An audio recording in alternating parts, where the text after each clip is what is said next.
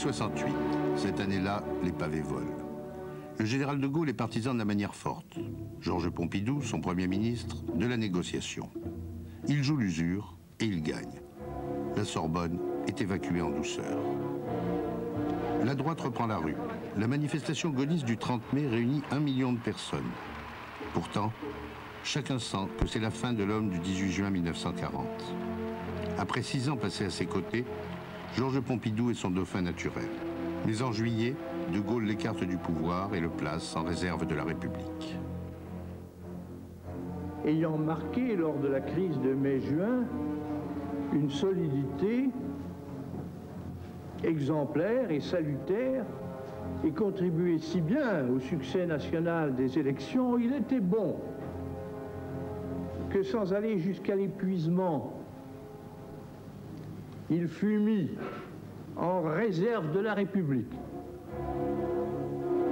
Georges Pompidou quitte donc le gouvernement. Pour les gaullistes historiques, il n'est pas digne de succéder un jour au général. La vieille garde gaulliste revient au premier plan, avec Maurice Couve de Murville. Dans son sillage, d'autres adversaires de Georges Pompidou, et notamment René Capitan, le ministre de la Justice. René Capitan avait toujours été, parmi les gaullistes, parmi ceux qu'il avait beaucoup critiqués, au nom de ce qu'il était convenu d'appeler à l'époque le gaullisme de gauche. Euh, trouvant que Georges Pompidou menait une politique économique et sociale euh, euh, qui n'était pas assez à gauche. Ce qui était une erreur d'ailleurs, parce que grâce à cette politique économique et sociale, la France avait fait de grands progrès. Donc les relations n'étaient pas n'avait jamais été chaleureuse. Le général écrit à Georges Pompidou Je souhaite que vous vous teniez prêt à assurer tout mandat qui pourrait un jour vous être confié par la nation. Pompidou s'installe donc dans son rôle de prétendant. Il établit sa permanence, boulevard de la Tour Maubourg, à Paris. Il devait y avoir beaucoup de personnes qui pensaient que sa carrière était terminée. Et petit à petit, c'est pour ça qu'au euh, départ, en septembre, la, Tour Maubourg a été très, très désertée, sauf par les fidèles. Un gars comme Chirac venait tous les soirs voir, voir nous voir. il y a eu un contact maintenu par un certain nombre de fidèles. Dire qu'ils étaient 100, euh, je me tromperais.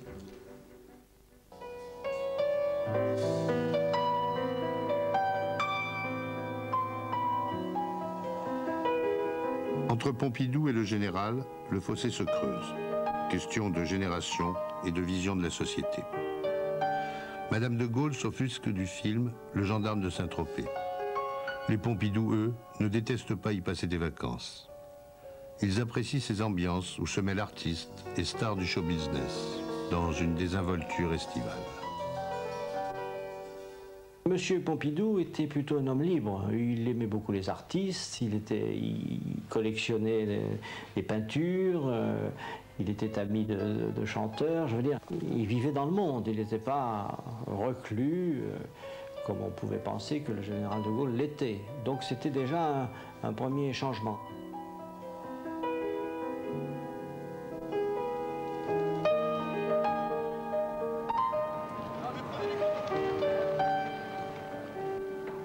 Il louait une maison euh, qui s'appelait l'Étoile, qui était située euh, euh, près de la chapelle Satane à Saint-Tropez.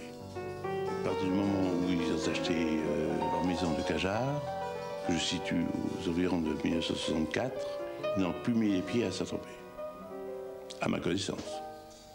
Un jour, c'était je crois en 1963, Mitterrand me dit euh, vous savez, euh, dites bien à M. Pompidou que, si, que, que d'aller trop souvent à Saint-Tropez serait une erreur, parce qu'un jour le général lui en voudra. Le 1er octobre 1968, un chiffonnier découvre dans une décharge de la région parisienne, à Elancourt, un gros sac en plastique. À l'intérieur, le corps d'un homme, le crâne enfoncé. La mort remonte à plusieurs jours. L'enquête est confiée à un juge d'instruction de Versailles, René Patard. Un matin, vers 10h, j'étais à mon cabinet. Je reçois euh, la visite euh, du substitut du service pénal. avec un réquisitoire euh, introductif en me disant bah, Je vous ouvre une information, on a découvert un cadavre dans une décharge, ça doit être un clochard quelconque, ça va pas aller loin. Ce n'est pas un clochard, mais un jeune Yougoslave qui vivait chez Alain Delon. C'était son garde du corps, sa doublure. Et il se trouvait que bon, le cadavre avait des antécédents judiciaires, ce qui a permis, hein, par recoupement au fichier dactyloscopique, de lui donner un nom. Il paraît que c'était Stéphane Markovic, un factotum de Delon.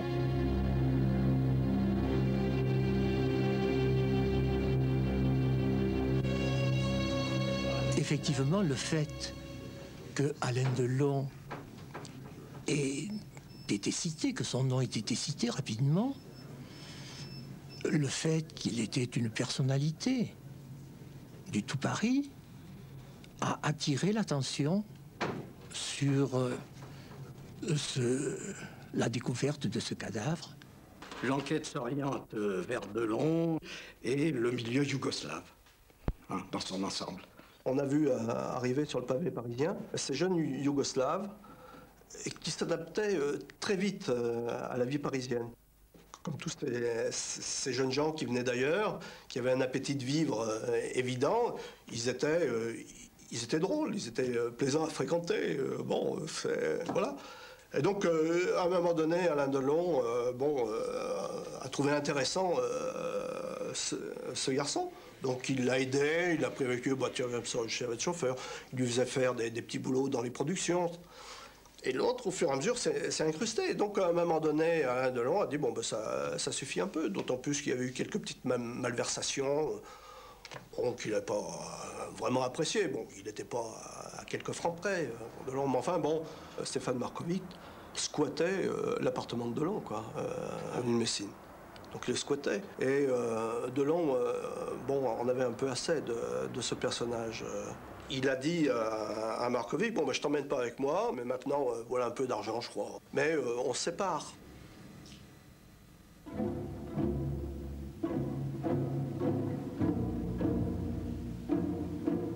Au moment de l'assassinat de Stéphane Markovitch, Alain Delon se trouve à Saint-Tropez, où il tourne le film de Jacques Deray, La piscine, avec Romy Schneider.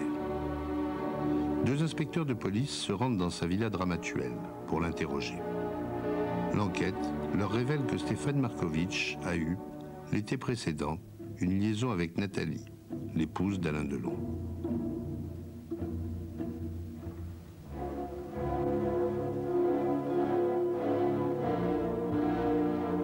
Les policiers s'intéressent à l'emploi du temps de l'acteur au moment du meurtre. Ils s'y intéressent d'autant plus qu'une carte postale semble signaler sa présence à Paris le jour de la disparition de Stéphane Markovitch. Cette carte, écrite par Delon à une amie, a été postée rue de la Boétie. Par un de mes collaborateurs, affirme Alain Delon. Son contrat lui interdit en effet de quitter les lieux du tournage. Et les créneaux de temps où il aurait pu se déplacer sont tellement étroits que euh, si on avait eu la, preuve de son déplacement, à ce moment-là, effectivement, il aurait fallu qu'il euh, explique euh, sa présence à Paris. Mais sa présence à Paris n'a pas été déterminée. Chez Delon, les policiers fouillent le studio occupé par Stéphane Markovitch. Ils y décèlent une cache sous le plafond, vide.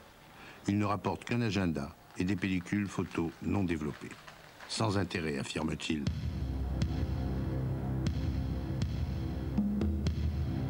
La façon dont on l'avait trouvé, moi, ça me, pour moi, ça signait un peu un règlement de compte ou une chose de ce genre-là. Et ça, les règlements de compte, souvent, ça se fait par arme à feu. Alors moi, ça, ça, ça me bizarre hein, euh, que, sa mort soit provoquée par ces coups euh, de face, alors que souvent en médecine légale, on apprend que les coups mortels, ce sont les coups qui sont portés euh, sur, la, base du crâne par derrière. Alors, chose qui est fabuleuse, c'est que l'autopsie est ratée. Et à l'époque, les autopsies se faisaient dans le cimetière. On mettait euh, des tréteaux, une planche, et puis on, étalait le, corps, là, et avec, euh, on, mettait la tête sur une espèce de billot en bois creusé.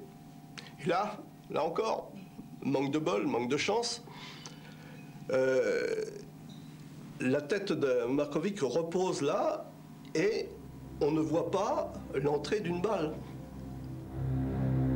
Le corps de Stéphane Markovitch est exhumé. Une seconde autopsie va provoquer un coup de théâtre.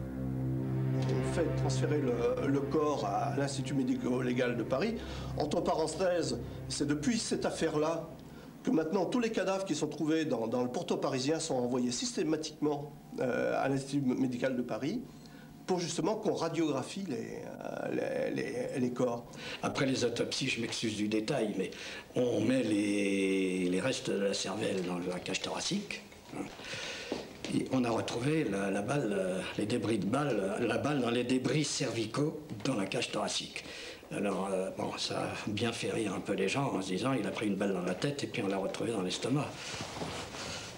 Mais enfin, pour nous, c'était intéressant parce que ça, ça indiquait en réalité qu'il avait été euh, abattu d'une balle dans la tête, qui était du 38 spécial, arme habituellement utilisée dans le milieu pour les règlements de compte. Il avait été exécuté.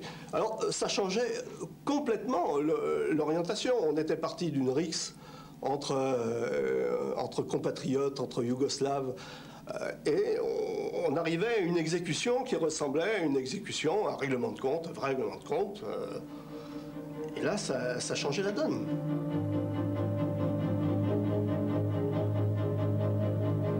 Deuxième rebondissement. À Belgrade, Alexandre Markovitch, le frère de la victime, rencontre maître Roland Dumas et lui remet des documents qui accusent. Je suis donc allé à Belgrade, j'ai fait la connaissance d'Alexandre Markovitch. Il était euh, le commandant du bateau, du yacht personnel du maréchal Tito, donc c'est pas n'importe qui. Et c'est alors qu'il m'a révélé que, avant la disparition de Stéphane, il avait reçu des lettres de celui-ci qui lui expliquaient qu'il courait un grand danger. Trois lettres qui succédaient dans le temps, mais à intervalles très rapprochés, et dans laquelle il expliquait qu'il était en querelle avec la personne qui l'hébergeait, et il habitait chez les Delon, donc Delon, et qu'il risquait gros, qu'il ne sait pas s'il triompherait ou s'il réussirait, sans donner le détail des choses. Pour tous mes trucs ou mes aventures, s'adresser à Alain Delon en tant que responsable à 10 000% Son associé, qui me joue le jeu maintenant comme s'il était le mien, est un voyou. C'est François Marc Anthony, Corse, véritable gangster. Stéphane Markovic a écrit une lettre qui me désigne qu'il a un rendez-vous avec moi pour une affaire et que s'il y arrivait quelque chose, c'était Delon, Nathalie et François. J'ai dit que je le connaissais peu, Stéphane Markovic, et je l'avais rencontré une ou deux fois chez Delon. Par contre, là où je fréquentais, il ne manquait jamais de se présenter aux courses. Si j'allais aux courses, il disait aux amis, tiens, c'est Marc-Anthony. Lui parlait beaucoup de moi, par contre, mais pas moi. Moi, ah, quand il est mort, Markovic, j'ai dû le voir cinq fois. Je ne le fréquentais pas, c'était pas une de mes relations. hein. Marc Anthony est un personnage euh, intéressant euh, dans la mesure où, euh, disons qu'il, contrairement à la plupart des voyous de l'époque, il n'est pas allé à la Carlingue. Vous savez, la, Carlingue, euh, c'était le groupe de, de, Lafont euh, qui travaillait pour, la Gestapo. Et la plupart des, des voyous français sont allés euh, euh, à la collaboration et à la Gestapo. Or, il se trouve que Marc Anthony, lui, est allé, et c'était un des rares, été dans le cas adverse. Bon, donc, à la limite, c'est un personnage intéressant et à la limite fréquentable, puisqu'il a fait son devoir. J'ai rencontré Alain Delon à Toulon, il était matelot. Il revenait, je pense, d'Indochine. C'est mon frère euh, Charlie qui me l'a présenté au bar Le Marsouin. Moi, je suis rentré sur Paris. Et c'est quelque temps, je sais pas, un an ou deux après, que mon frère m'a téléphoné en me disant Tu sais, le marin que je t'ai présenté, il fait du cinéma, va le voir. Donc, euh, Delon m'a appelé. Il jouait à ce moment-là Dommage qu'elle soit une putain avec Romy Schneider. Je suis allé avec Sauveur Choca, un de mes amis, le boxeur, là, qui avait tourné avec lui dans Rocco. Donc été reçu chez lui, avec d'autres artistes. je me rappelle d'une soirée, il y avait Brigitte Bardot, il y avait Anne Girardot, il y avait Bob Zagouri, il y avait Briali, on jouait tous au, au gin. Stéphane Markovitch disparaît le soir du 22 septembre 1968. Ce jour-là, il part retrouver un certain Monsieur François pour une expédition qui doit lui rapporter gros. Un ami yougoslave de Paris, Ouros, l'accompagne jusqu'à la place Rio de Janeiro. Il le voit monter dans un taxi, d'où il distingue la silhouette d'un homme qui l'attend. Le lendemain, Stéphane n'est pas revenu. Ouros s'inquiète. Il est convaincu qu'il est arrivé malheur à son ami. Il alerte Nathalie Delon, cherche à joindre Alain Delon et téléphone en pleine nuit à François Marc-Anthony. Pour lui, pas de doute, c'est le monsieur François du taxi. Je ne comprends pas pourquoi j'aurais fait une affaire avec quelqu'un que je ne connais pas. Alors quand vous lisez sa lettre avec lui, il y a tellement d'imagination dans sa lettre, c'est bien expliqué, moi je ne comprends pas. Mais ce n'est pas moi le François, je m'en suis toujours expliqué. Ouros s'agite, prévient la police, fait le tour des amis de Stéphane Markovitch et harcèle François Marc-Anthony. J'étais chez moi, boulevard Gouvion-Saint-Cyr, l'heure, ça devait être 2h, 3h du matin, je ne me rappelle pas si bien, et puis quelqu'un m'a téléphoné, m'a dit où c'est qu'est Stéphane, je voudrais avoir des nouvelles. La dernière fois, il, il m'a dit qu'il allait vous rencontrer. Et puis, toutes les menaces qu'il m'a fait, j'ai même pas pris ça au sérieux. Si, au sérieux, sur les, je me suis posé la question, j'ai dit, mais qu'est-ce que c'est cette histoire, quoi? Et puis c'est tout. Mais j'ai dit, écoute, si tu veux me voir, moi je suis tous les jours là, tu viens te voir, c'était le fameux Ross. Je lui ai donné rendez-vous, il est venu, on s'est expliqué justement à la passée. Dans le bar qui lui sert de quartier général, François Marc-Anthony fait signer à Ouros une attestation selon laquelle il n'est pas l'homme du taxi. Ouros signe mais les policiers ne sont pas convaincus. C'est qu'ils ont voulu simplement savoir où je me trouvais le jour de l'assassinat. Je crois que c'était ça qui était très important. Alors là, je me trouvais ici chez moi. 7 heures du soir, j'ai pris mon pain en face. La boulangerie existe encore, les patrons sont plus les mêmes. Ils sont allés voir sept fois la boulangère pour savoir si vraiment j'avais pris le pain à 7 heures.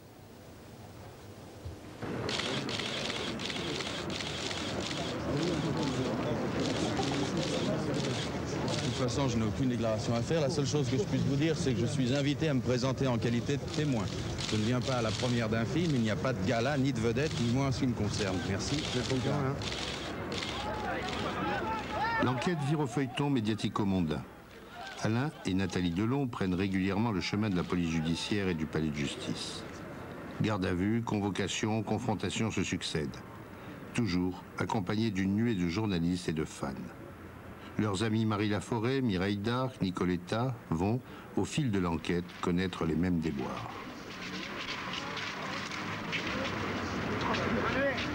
Vous allez rencontrer Antoine Marc-Anthony Je ne sais pas.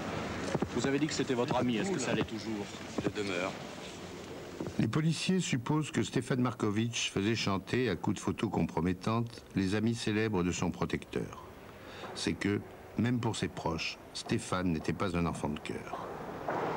Nous avons essayé de démontrer que Stéphane n'était pas tout ce qu'on avait dit, tout le mal qu'on avait dit de lui. C'était un garçon sain, c'était un garçon euh, très beau, c'était un playboy, si on veut, mais qui ne faisait pas de mal, qui était un garçon honnête. Et nous regrettons tous qu'il a été assassiné aussi sauvagement. Et nous essayons, avec la justice française, d'essayer de le venger.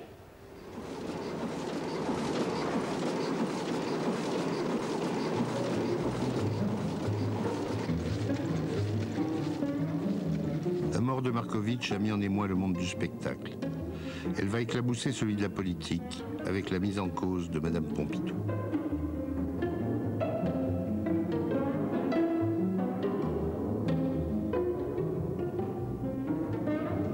Parlait beaucoup d'un dossier euh, politico-judiciaire autour de Georges Pompidou et surtout de Madame Georges Pompidou, mais sans aucun détail.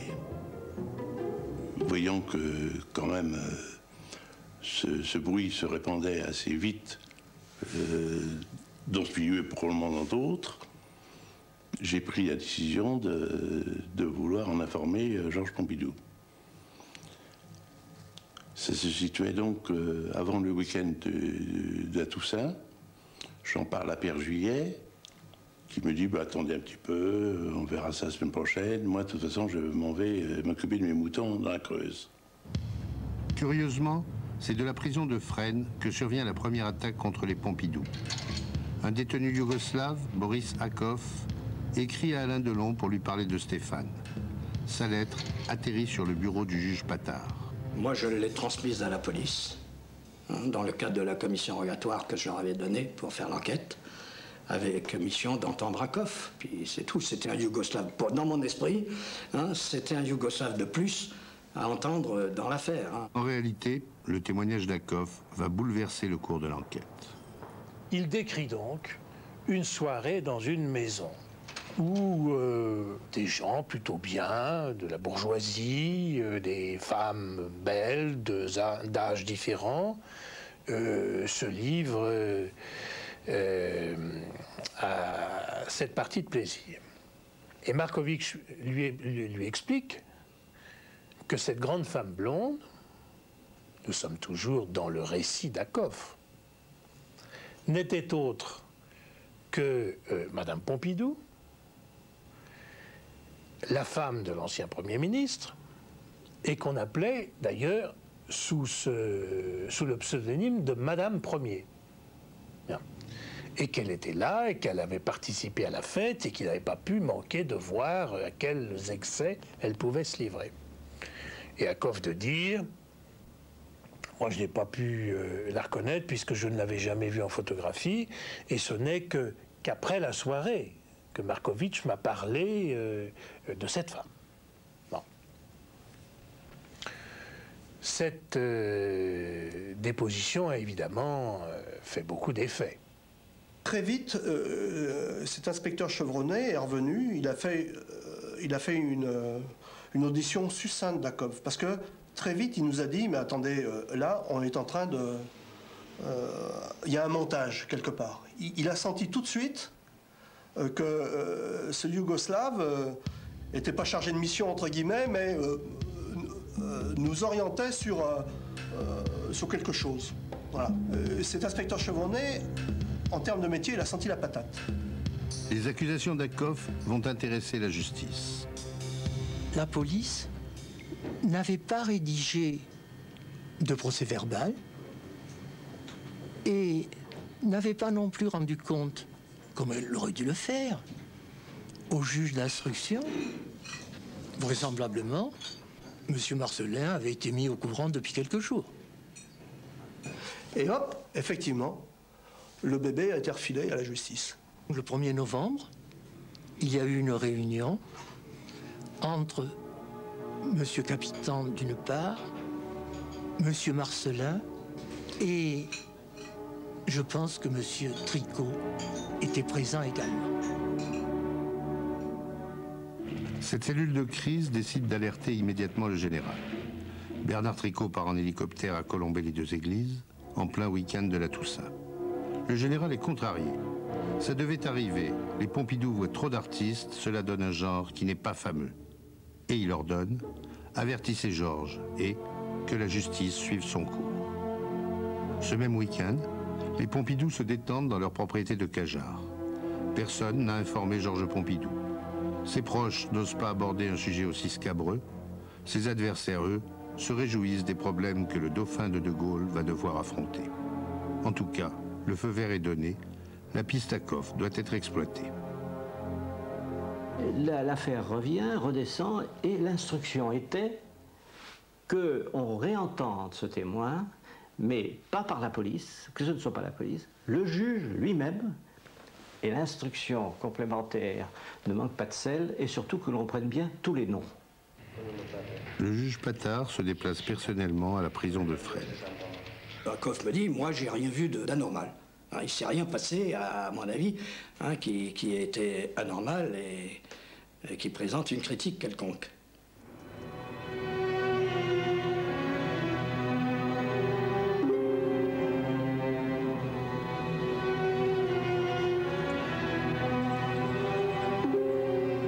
Policiers se lancent à la recherche de la maison de Montfort-l'Amaury, celle où se serait déroulée cette partie fine en 1966. Akoff est conduit sur les lieux. Il identifie une demeure. C'est celle d'un grand industriel français. C'est là, dit-il. Ces révélations n'iront jamais plus loin. Et le nom des Pompidou figure désormais dans la procédure judiciaire. La piste d'Akoff n'était pas sérieuse. Elle n'était pas sérieuse, mais cependant, il y avait la fumée, il y avait peut-être le feu. Georges Pompidou est enfin informé par l'un de ses proches. Lundi, je me souviens, c'était en fin d'après-midi, je lui dis que, son, que le nom des Pompidou était évoqué à propos d'une affaire, euh, d'une affaire criminelle qui, qui, avait eu lieu quelques semaines avant. À ce moment-là, il a évidemment réagi d'une façon assez stupéfaite, n'ayant rien entendu dire. Je pense que la première chose qu'il ait fait, c'est de faire convoquer par euh, Jobert Sauveille pour connaître un peu le dossier. Et au contraire, il se bat d'une manière euh, très forte dès qu'il a connaissance euh, du fond du dossier. Bon, il est certain qu'il a considéré que, objet d'une calomnie indigne, et je dirais même infâme, puisqu'elle ne le concernait même pas lui-même, mais ce qu'il avait de plus cher, euh, il a estimé que l'on ne mettait beaucoup d'empressement ni à l'informer, ni à le défendre. Tout ce qu'il y a sûr, c'est que ce n'était sûrement pas spontané. Et qu'un certain nombre se sont attachés à souffler sur les braises. La rumeur enfle. Il existerait des photos compromettantes. La police, les services secrets se mettent à leur recherche. Les magazines américains promettent une prime à qui les leur apportera. Devant cette frénésie, des photomontages plus ou moins satiriques circulent. Dieu ce qu'on n'a pas dit sur les photographies pendant des années dans cette affaire. Markovic euh, avait lui-même prétendu euh, qu'il était en possession de photographies compromettantes pour euh, Alain et Nathalie. dans l'histoire à Koff, on avait lancé l'idée qu'il y avait des photographies. Le dossier, lui, il évite de photos de ce genre-là. Hein. Il y a une seule fois hein, une photo qui m'a été apportée par un, interprète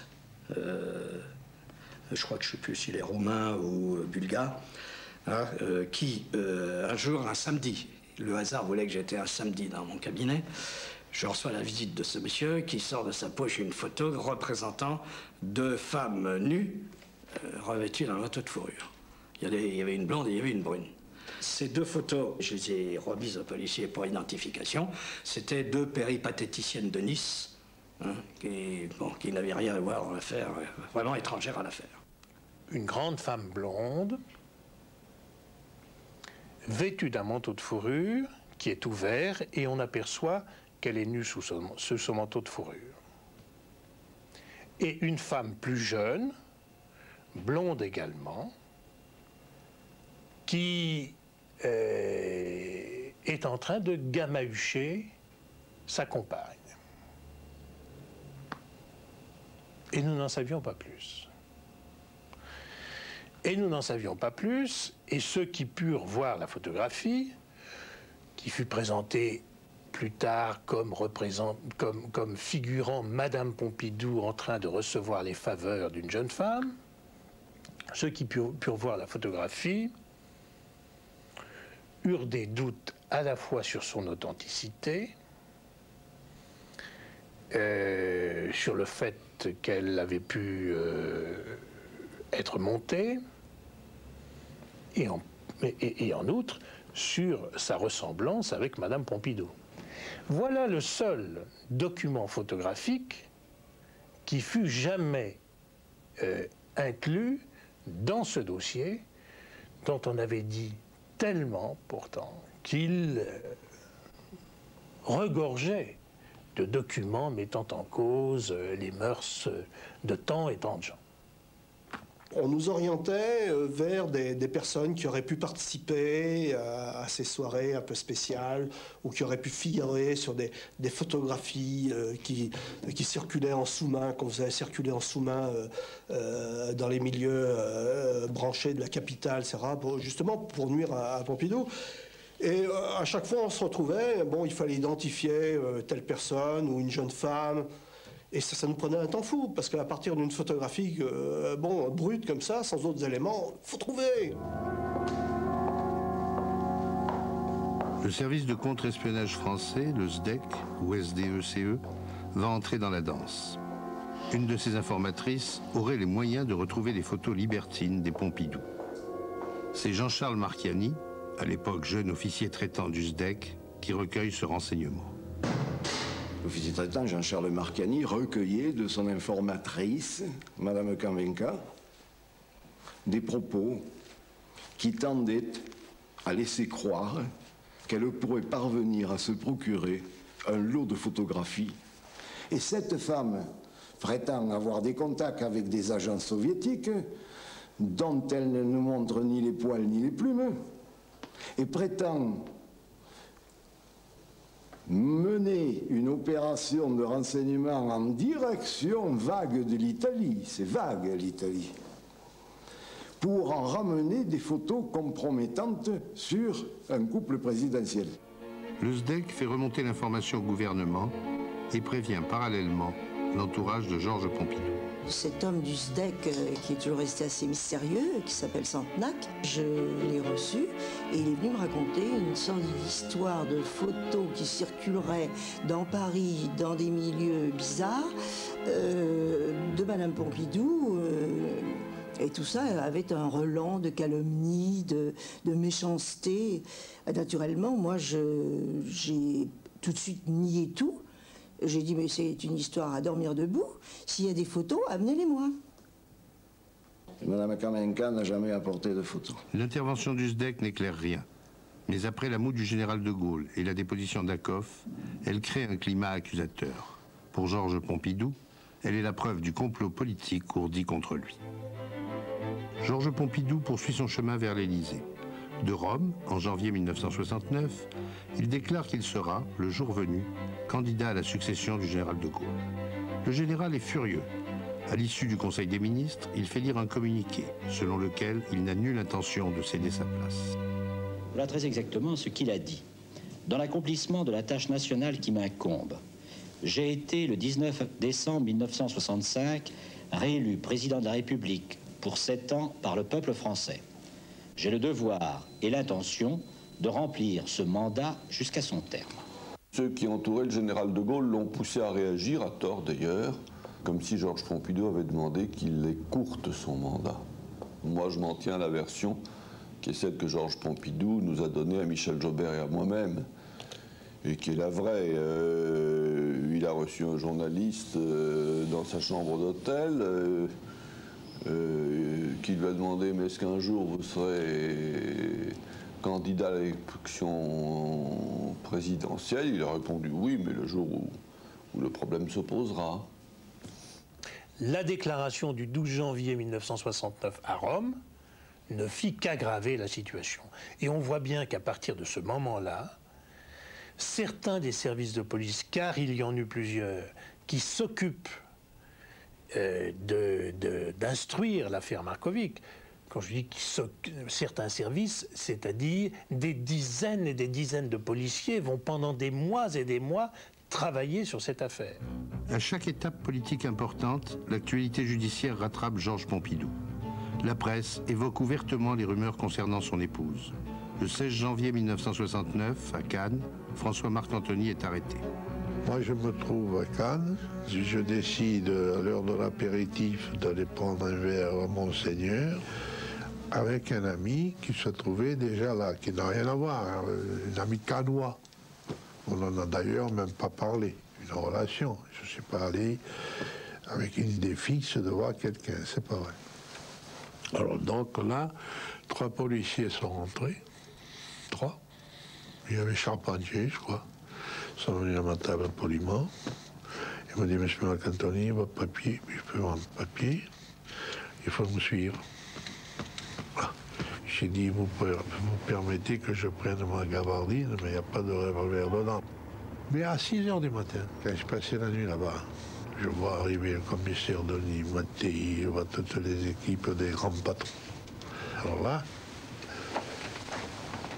je vais vous dire tout. Là, le cinéma qu'ils ont fait, il commence là. Gendarmes, CRS, avions militaires, une centaine d'hommes est mobilisée pour transférer François-Marc Antony à la prison de Versailles. Moi, j'étais étonné de voir tout ce ramdam. Et j'ai même dit au procureur, euh, mais je comprends pas pourquoi est-ce que vous, y a un tel service, etc. Et il m'a répondu, hein, c'est pour éviter qu'on fasse le coup de Dallas. Ben oui, euh, Kennedy qui s'est fait descendre. euh,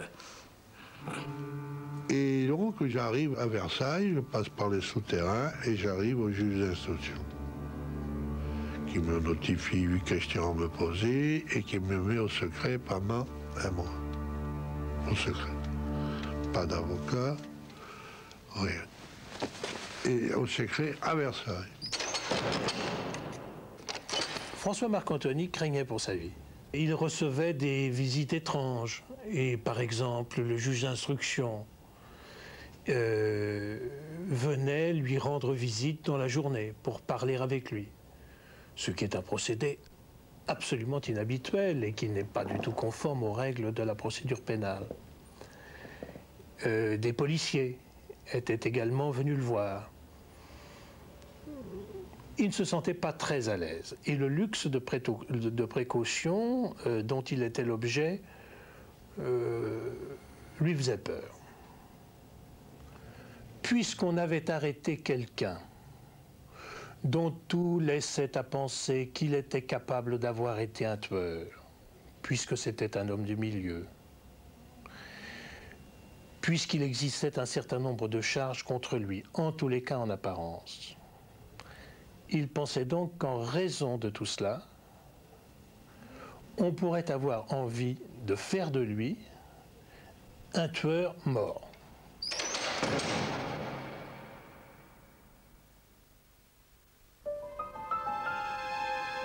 Janvier 1969, toujours. Alexander Markovitch arrive de Belgrade, avec dans sa besace une nouvelle révélation. Il a lui-même déjeuné avec les Pompidou chez les Delon. Et son frère Stéphane était là. Il disait, mais j'ai déjeuné avec eux. J'ai déjeuné chez Alain Delon et Nathalie Delon. Euh, Ça paraissait surprenant. Alors le juge posait de nouvelles questions. Comment était organisé ce déjeuner?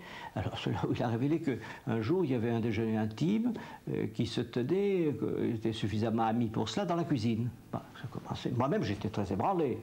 Quand même euh, Premier ministre, futur président de la République, enfin, on pouvait le supposer, euh, comme ça, une table de cuisine, je voyais pas ça très bien. Ils auraient pu faire un effort de... Bon, peu importe. Et le plan de la table a été destiné dans un procès verbal du juge d'instruction, euh, avec euh, Alain Delon et Nathalie Delon qui étaient les maîtres de maison,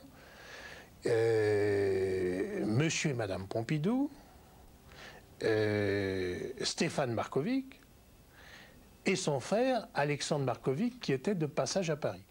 Monsieur et Pompidou ont toujours dit qu'ils connaissaient Alain Delon et qu'ils rencontraient Alain Delon, mais qu'ils n'étaient jamais allés chez lui et qu'ils ne l'avaient jamais vu. Et Alain Delon a certifié également que les Pompidou n'étaient jamais allés chez lui.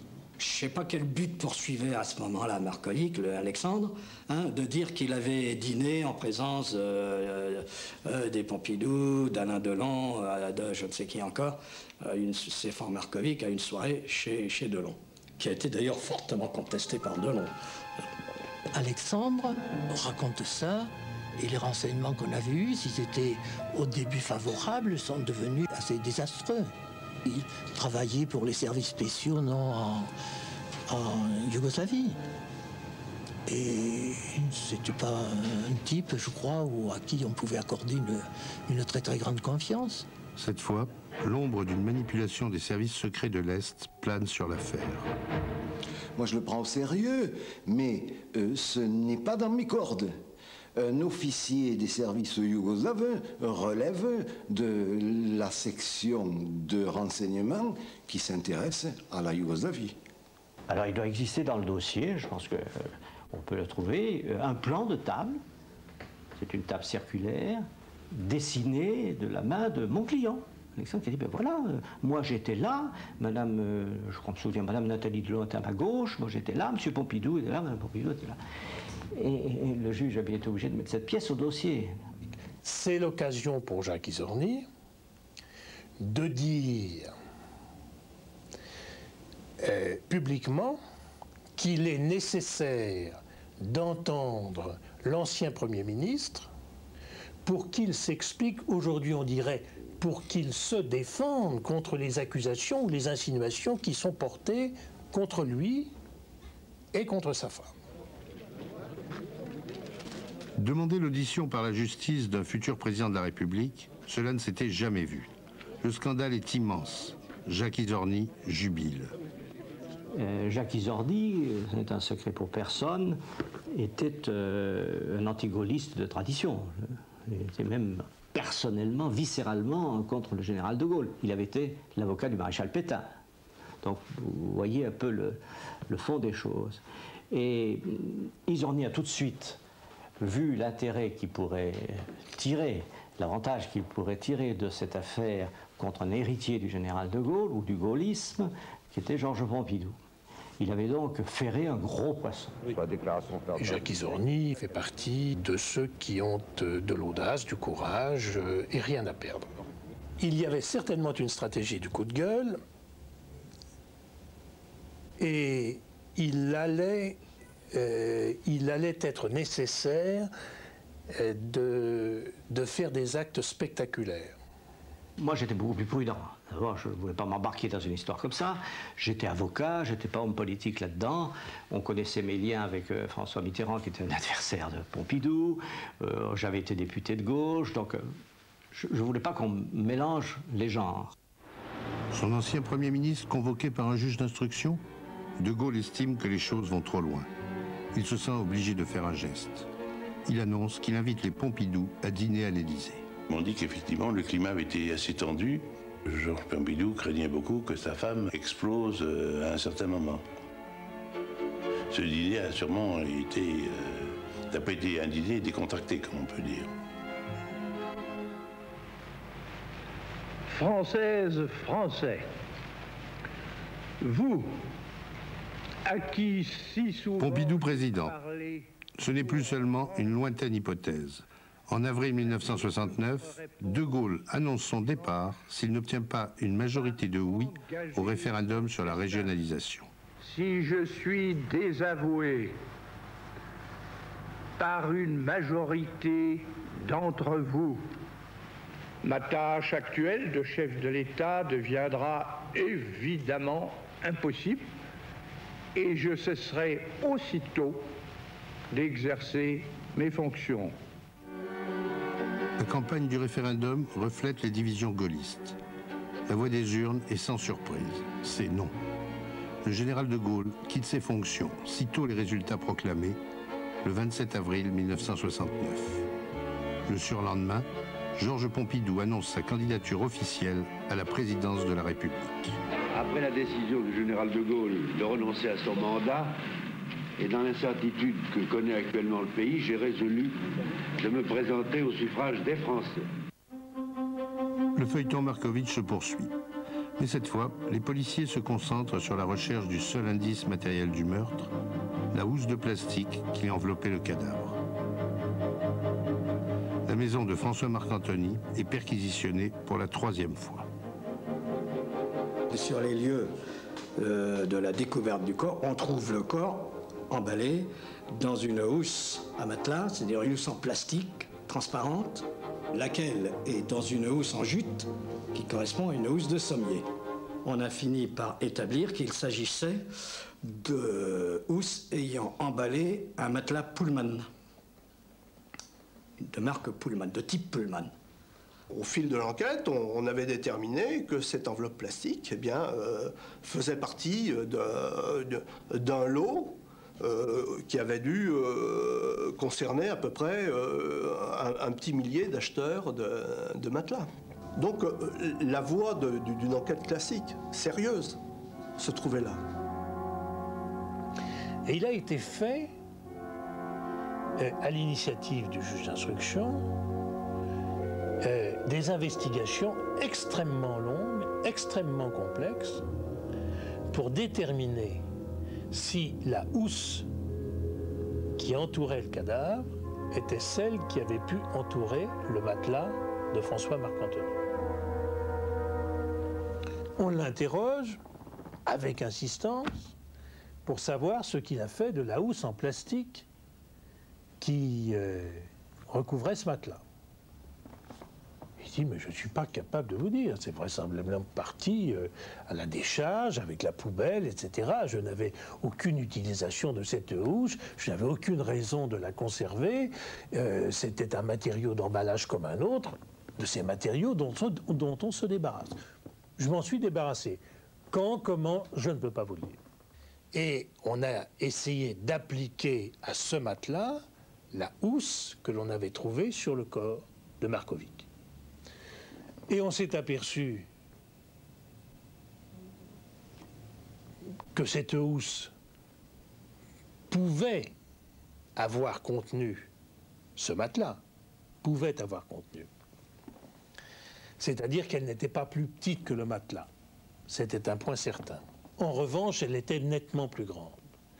Et rien ne permettait de penser qu'il y avait euh, un ajustement possible entre ce matelas et cette housse. Fini la poursuite effrénée de photos, de rumeurs et de partout.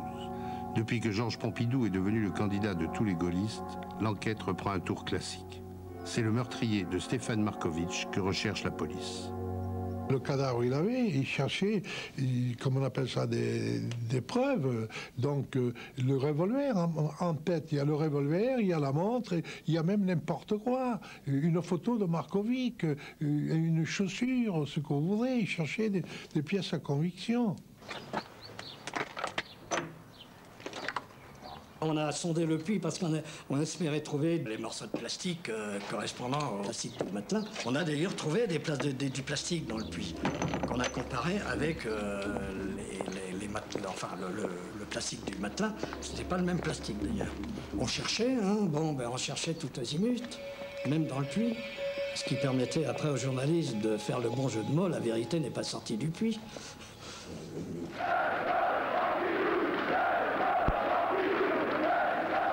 Vous me connaissez, le pays me connaît. Au gouvernement, j'ai fait mon apprentissage. J'ai fait des erreurs, comme tout le monde. Mais j'ai appris. Et finalement, je ne devais pas être si indigne de la fonction, puisque j'ai obtenu et gardé la confiance du chef de l'État, celle de deux assemblées successives et celle du pays chaque fois qu'on l'a consulté d'une manière ou d'une autre.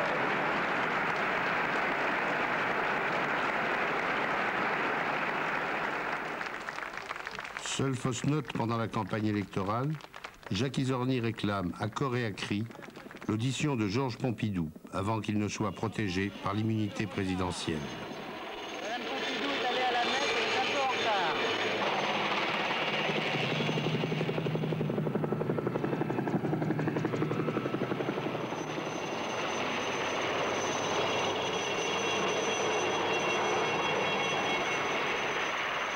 Résultats du premier tour confirment l'avantage de Georges Pompidou. Le 15 juin 1969, il est élu président de la République.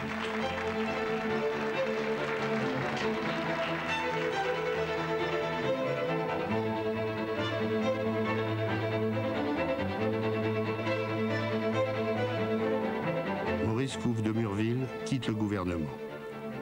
Georges Pompidou ne lui pardonnera jamais de ne pas l'avoir informé à temps. Les luttes de clans gaullistes ne s'éteindront jamais.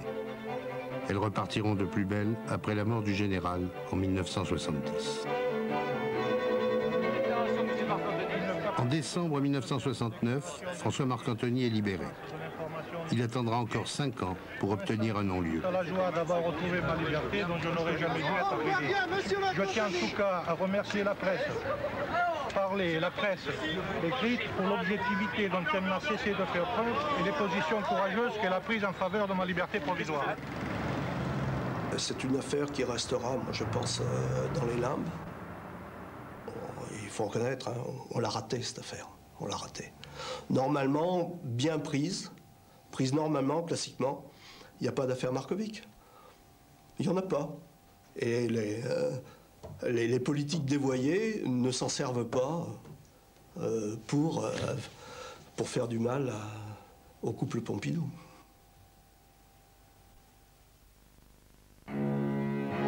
Installé à l'Élysée, Georges Pompidou conservera sur lui la liste de ceux qu'il accuse d'avoir participé au complot et il réglera ses comptes. René Capitan sera écarté de la scène politique. Bernard Tricot relégué au Conseil d'État. Le SDEC sera largement épuré. Quant aux responsables de l'enquête Markovitch, policiers et juges, ils seront tous changés. L'année suivante, en 1970, une loi sera votée pour protéger la vie privée des attaques de la presse. Madame Pompidou, blessée, s'est dans le silence.